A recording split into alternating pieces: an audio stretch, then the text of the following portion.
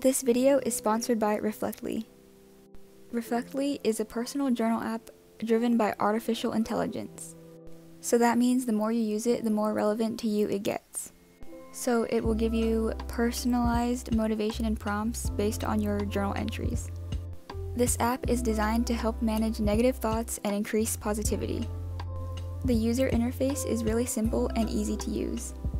It allows you to do mood check ins, and you can vent your thoughts and feelings. And you can check in as many times as you want, and you can also read back on old entries. The app also provides motivational and inspirational quotes.